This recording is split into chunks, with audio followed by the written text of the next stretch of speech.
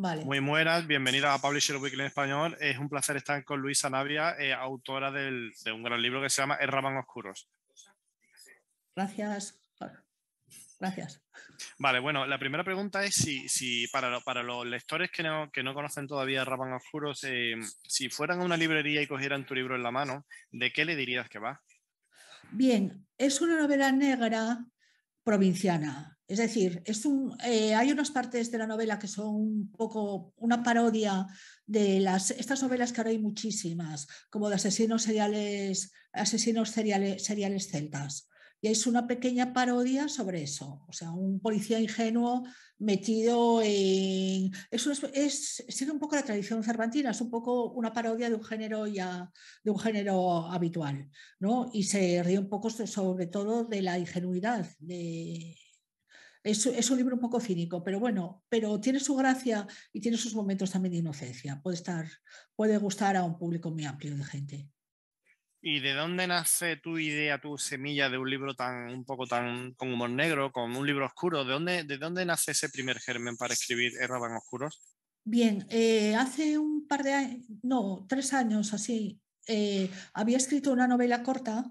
Una, bueno, no era tan corta, era, tenía casi 180, 180 páginas, eh, que se llamaba Los agujeros de gusano.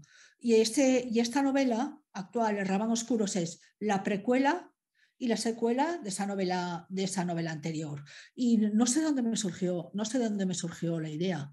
Vamos, quería un poco, soy una gran admiradora de Clarín, me gusta, me gusta muchísimo, soy de Oviedo y me gusta mucho, lo, lo tengo muy sabido, muy releído.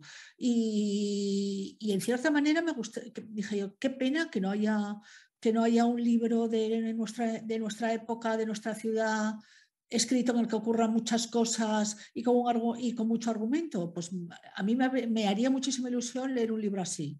Y como no lo tenía, pues me lo escribí. Bueno, está peor que escrito que el de Clarín, obviamente, pero bueno, pero es, pero es eh, un intento laborioso. Bueno, al final eso prueba de que, que uno se escribe el libro que le gustaría leer, ¿no? Claro, el libro que te gustaría leer y que yo ahora no encuentro, tampoco encuentro mucho. Todos mis, mis escritores y todas mis, mis lecturas son ya de escritores muertos. Tengo muy poco con lo que me identifique en la actualidad. Y Entonces, Luisa, ¿cuál ha sido la, parte más difícil de escribir eh, Oscuro y cuál la más fácil o la más orgánica?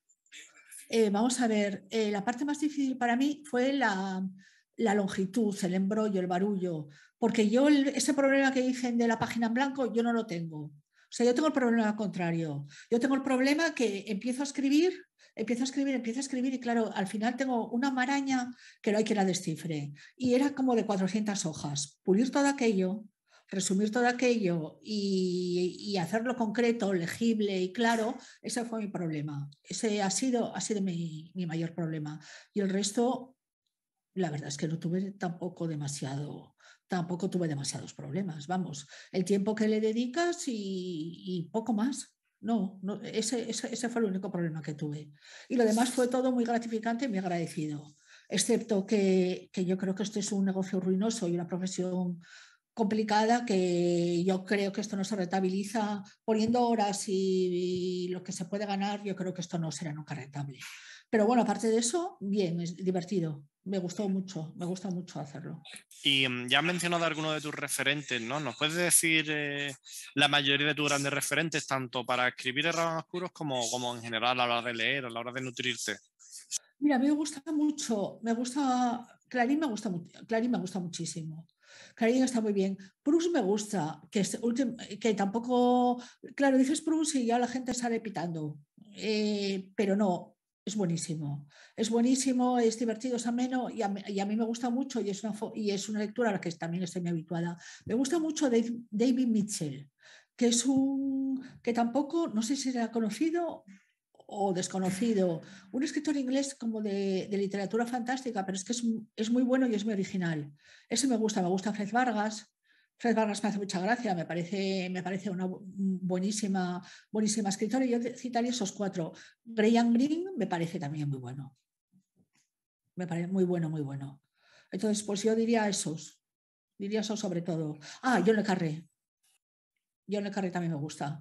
Y Evelyn Boch, o sea, como esos escritores ingleses de los años 20 que habían sido espías casi todos, que son muy sutiles, que tratan muy bien la naturaleza humana, que la conocen muy bien, esos, esos me encantan. Y Luisa, desde el punto de vista de los lectores que, van a ver esta entrevista, ¿cuál crees que es el mayor o el punto más fuerte de Raban Oscuros? es graciosa. Es, vamos a ver, es un libro, es un libro, yo escribo, yo escribo con gracia, ¿verdad? No, no, es que es una realidad. Es una, es una novela que es, que es graciosa. Por ejemplo, la anterior, la gente me decía, todo el mundo me decía la misma frase. Estaba leyendo en la cama y estaba muerta de risa. Entonces, es, eh, yo creo que es un libro divertido y fácil de leer, aunque no es corto. ¿eh? Esta, vez, esta vez es, más, es bastante más grueso que la novela anterior. Y eh, Luisa, llama la atención el, trazado de los personajes, ¿no? Cómo están perfilados. ¿Te has, inspirado en personas de tu entorno o en otros referentes literarios o en el cine? No, eh, no me. Vamos a ver, sí, siempre te inspiras un poco en, personas del entorno, pero no me, no me inspiré tanto como, como parece.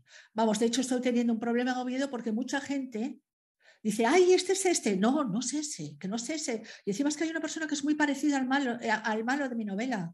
Hay una persona que es parecidísima pero fue inconsciente y no es él. O sea, no, no, no, no es, vamos, no me atrevería, nunca a hacer una cosa así, vamos a inspirarme de forma clara en alguien. Pero el, caso es que sí, que sí que estoy teniendo un pequeño problema con eso, que la gente piensa que, son personas que existen en la realidad.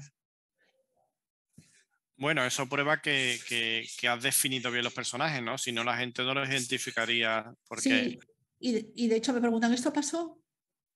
Y bueno, hay una parte que sí pasó, que realmente sí ocurrió, pero la mayoría es pura imaginación.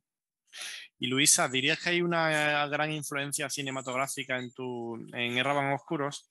Sí, sí, hay una gran influencia cinematográfica. Yo creo que, claro, por ejemplo, en la época de Clarín, en la de Plus y todo esto, esta forma de escribir que se hace ahora como con cortes, con mucho flashback, para adelante, para atrás, que eh, incluso ya el lector ya está habituado a esa forma a, esa forma de, a esa forma de leer. Sí, influyó muchísimo, mucho. Luisa, ¿qué le dirías a alguien que quiere publicar un libro, ¿no? que sabe que se le da bien escribir y que le da miedo? Porque al final al cabo te estás, se está eh, al final eh, un poco colocando con tus grandes referentes y tal, ¿no? Hoy en día con Internet, que al final en las mismas plataformas venden autores nobles, autores súper consagrados. ¿Qué le dirías a alguien que quiere empezar y que tiene un poco de inseguridad? No, no, pues que empiecen, no, no, que desde luego que empiecen y que no tenga ninguna inseguridad, porque es que ahora escribe todo el mundo y a nadie le pasó nada. O sea que lo único que te puede es pasar, perder tiempo, perder tiempo y bueno, y algo, y algo de dinero, poco, pero, pero bueno, que eso es la vida, que es que, que, tienes que hacer cosas, que tienes que hacer cosas que te gusten y, y que seguro que encontrarás a gente que le gusta también tu forma de escribir y tu forma de pensar y, por ejemplo, yo gracias a la novela anterior me empezaron a invitar a un montón de casas, a un montón de fiestas y, para mí fue por lo menos socialmente positivo, ya que no lo fue económicamente, socialmente sí, sí fue interesante. Así que nada. Em, y, Luisa, ¿qué nos puedes decir? ¿Cómo está siendo tu experiencia con tu editorial? Eh, muy buena, muy buena. O sea, eh, la verdad es que todavía no he empezado a rodar porque yo también debería hacer una parte de promoción y de hablar con medios y hacer algo por, y hacer algo por mi cuenta, pero desde luego las correcciones fueron impecables, que eso para mí es muy importante. Eh, eso, el diseño de portada también magnífico. Los libros son de, muy buena, son de muy buena calidad. Me hicieron un informe editorial sobre, sobre que me ayudó mucho no, no tengo más que cosas buenas. Eh, que, decir que cosas buenas. No. Felicitar a Caligrama y, animar a la gente que, publica ahí. Luisa, yendo a una parte un poco más personal, eh, ¿qué libro tienes ahora mismo en tu mesita de noche? ¿Cuál es el libro que estás leyendo ahora mismo? Pues mira, estaba, estaba leyendo, estaba, estaba leyendo un libro de estos que son bastante más lejos, la verdad, pero más que nada para, porque es una, es que no puedo dejar de leerlos. las memorias del Tejo, puede que se llame, o algo así. Es de, estos, es de estos asesinos seriales celtas o de secuestros, pero porque yo estoy enganchada, estoy un poco enganchada, enganchada a ese género. Y luego estoy leyendo, vamos, y, luego estoy leyendo, releyendo otra vez bueno, unos de, unos de, teoría, de teoría literaria. Unos de eh, Jesús, de Jesús Maestro, Jesús G. Maestro, un profesor de, un catedrático, un catedrático de, Vigo, de literatura. Y estoy leyendo, estoy, leyendo y estoy escuchando sus vídeos de YouTube y tiene post, tiene varias cosas y eso es a lo que me estoy dedicando ahora. Y Luisa, volviendo un poco a Erraban Oscuros, si, si una persona que, no te conozca todavía como autora y tiene eh, tu libro en la mano y duda si hacerse con él o no, ¿por qué le dirías que tiene que darle una oportunidad y que lo va a disfrutar? Hombre, lo va a disfrutar porque es muy original. Lo va a disfrutar porque es un poco muy diferente y me he esforzado en la diferencia y en la diferencia respecto, respecto a, otros, a otros textos que hay, que hay por ahí. Está, está bien escrito, está muy honradamente escrito. La verdad que lo he corregido montones de veces y, que no tiene, vamos, y que yo creo, yo, eh, tiene una trama muy larga, vamos, una trama muy retorcida, un argumento muy similar a las series, a las series eh, de ahora, que ocurre una cosa, ocurren 200 y no puedes dejar de leerlo del enganche, del enganche que tienes, que eso lo he hecho, eh, lo he hecho mucho de menos también en, la literatura actual. Y es un, es un, libro con mucho argumento, con mucho argumento y un argumento original. ¿Y de qué parte estás más orgullosa? ¿De, esos giros o, de, qué parte en concreto? ¿De qué parte, de qué parte en concreto? Yo estoy muy orgullosa del final. El final me parece, me parece un final totalmente diferente a los de, a los de ahora, es volver a repensar cosas que parecía que se habían olvidado. Eh, y estoy también muy orgullosa de los principios de cada capítulo. Me parece que esos los, los, son muy bonitos. Yo creo que, que eso está muy bien. Y luego, no sé, también estoy orgullosa de los personajes. De algún personaje, de algún personaje, sobre todo, yo que sé, de un personaje que se llama Chichina, de ese estoy, con ese estoy encantada. Y em, Luisa, ¿cómo te ves como autora en, un tiempo, en unos años o no sé? ¿Cómo te ves en, el futuro próximo?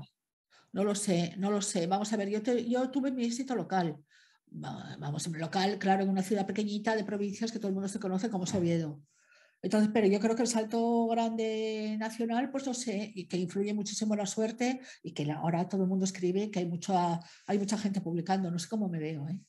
Vamos, es que ni siquiera sé si escribiré. Ahora estoy escribiendo otro, reiniciando otro, pero que esto tampoco es una cosa, tampoco es algo muy, muy exacto. No, no lo sé cómo me veré dentro, dentro de unos años. Vale, pues no, pues no tienes que dejarlo porque se te da muy bien, la verdad. Gracias. Pues nada, Luisa, muchísimas gracias por atender a Publisher Week en español y desde aquí recomendamos El Rabán Oscuros, que sabemos que es un libro que merece mucho la pena. Muchísimas